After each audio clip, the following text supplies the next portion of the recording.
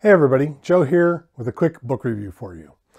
I just got done listening to The Ministry for the Future by Kim Stanley Robinson on Audible.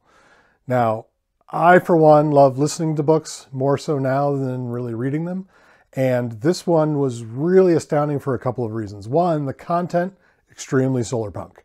If you are a solar punk and you have not yet read The Ministry for the Future, I highly recommend you go out and get this book right away.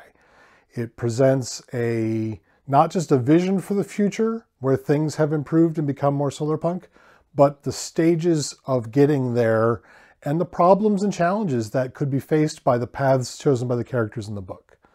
Additionally, the audiobook is voiced by multiple different voice actors, presenting a wide variety of inflections and accents that made the book more approachable and entertaining and, and varied for my, my personal opinion.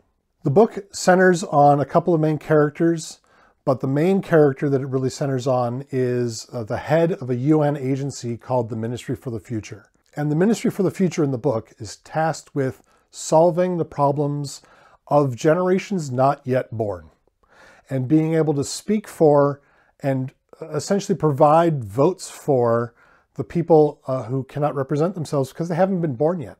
But like many things that are large and political in the real world, they're underfunded, they're unsupported, uh, people don't listen to them, they don't have any teeth. And so the book follows these characters as they try to figure out ways to actually bring about reasonable change.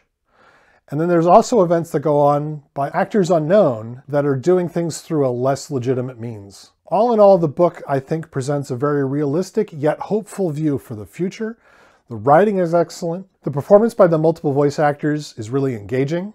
And I highly recommend, especially if you're already a solar punk, if you haven't read it yet, The Ministry for the Future by Kim Stanley Robinson. Comment below with other books that you think that every solar punk should read. And as always, do good and be good. Thanks for watching. What are you doing with the hammer, Jason? Just keep going. You're freaking me out a little bit.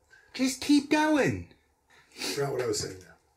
What are you doing with the hammer? Don't worry about it. Oh my God, Joe, Joe, Joe. Oh my God, this is not a drill. This is not a drill. Joe, Joe, this is not a drill. Joe, Joe. I'll see myself